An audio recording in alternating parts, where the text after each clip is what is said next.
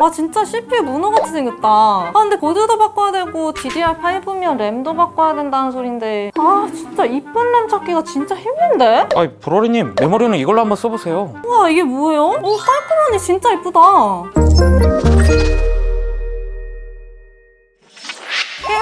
브롤입니다. 오늘은 제가 신상 메모리를 하나 가져왔는데 DDR5 제품 중에서 아주 깔끔한 화이트 제품을 가지고 왔어요. 보기만 해도 기분이 좋아지는 제품인데요. 보통 램 하면 초록색 시금치를 대표적으로 떠올리실 텐데 솔직히 PC 다 이쁘게 꾸며놓고 시금치 쓰는 거? 이거 절대 용납 못해요. 요즘 대부분의 소비자들은 강화 유리 케이스를 사용하잖아요. 그러다 보니 CPU 바로 옆에 있는 메모리 이거 신경 안 쓸 수가 없죠. 기존의 튜닝 램들은 단순히 RGB 영역만 늘린다거나 더 많은 effect 프로필을 추가하는 형태로 접근했다면 오늘 소개해드릴 이 제품은 LED가 굳이 나오지 않아도 충분히 예쁘고 정말 심플한 디자인을 타고났어요. 램 시장을 보면 전체적으로 디자인 자체가 알루미늄과 스틸이 강조되어 있는데 이건 아주 뽀얀 화이트와 대비되는 블랙이 다른 무덤덤한 무채색들 램들과는 확연히 비교되죠. 기존 튜닝 램들은 뭔가 기계적인 감성의 화려함이라고 해야 되나? 구체적으로 예를 들어볼게요. 저 같은 경우에는 집에서 쓰고 있는 PC에 컬러를 세팅할 때 핑크로 도배를 한 적이 있거든요. 근데 아무리 찾아도 제 마음에 쏙 드는 핑크색 램은 없더라고요. 이게 핑크는 핑크인데 외형이 투박해서 다 꾸며놓고도 싹 마음에 들진 않았었어요. 특히 고clock 램은 디자인이 너무 투박해요. 결국엔 선택의 폭이 좁게 느껴지더라고요. 그런데 제가 들고 있는 이 신상 램 이건 정말 심플한 디자인을 타고났어요. 클레브의 클라스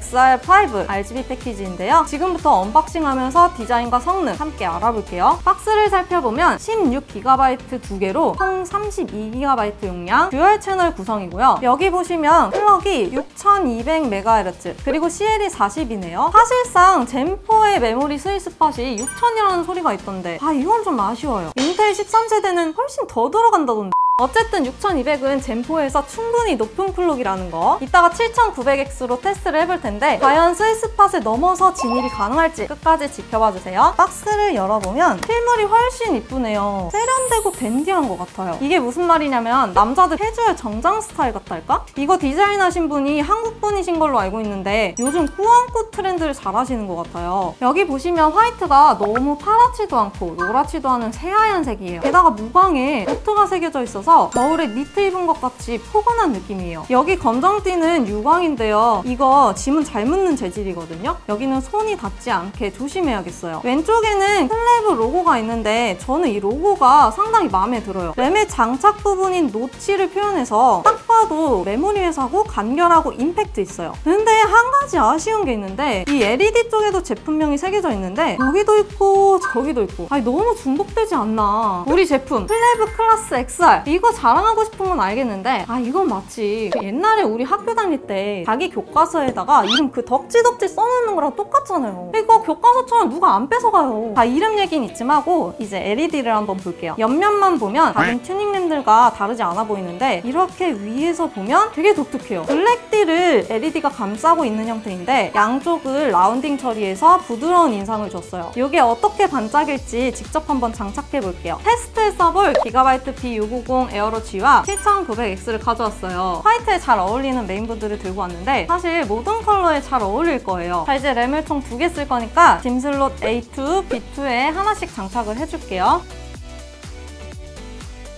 잘 장착이 됐고요. 자 이제 여기에다가 전원을 연결하고 한번 LED를 켜볼게요. 위에서 보니까 불빛이 과하지 않아서 좋은데요? 다른 램들은 보통 위쪽 전체가 RGB 영역으로 완전 꽉 차 있거든요. 근데 이거는 여기 블랙이 있어서 4개가 꽂혀도 큰 직사각형 하나로 보이지 않고 예뻐 보일 것 같아요. full bank도 예쁘겠는데요? 그리고 연동 소프트웨어를 살펴볼 건데 웬만한 건 다 지원이 되는데 여기 특이하게 레이저 크로마가 있어요. 와 이것도 좀 귀한데요? 뭐 사실 많은 분들이 메인보드 소프트웨어와 연결을 할 테지만 국내에 레이저 키보드 마우스 매니아들에게는 희소식인 것 같아요. 자 이제 성능에 대해 알아볼 텐데요. 테스트 시스템은 7900X를 장착하고 XMP 값인 6200MHz 그리고 수동 overclock인 6400까지 테스트를 진행해봤어요. 먼저 아이다 64 benchmark로 기본 성능을 측정해봤는데요. JEDEC 표준 4800을 기준으로 복사 속도가 XMP 6200은 35% 빠르고 지연 속도는 25.7% 10% 짧았어요. 그리고 6400으로 overclock 했을 땐 복사 속도가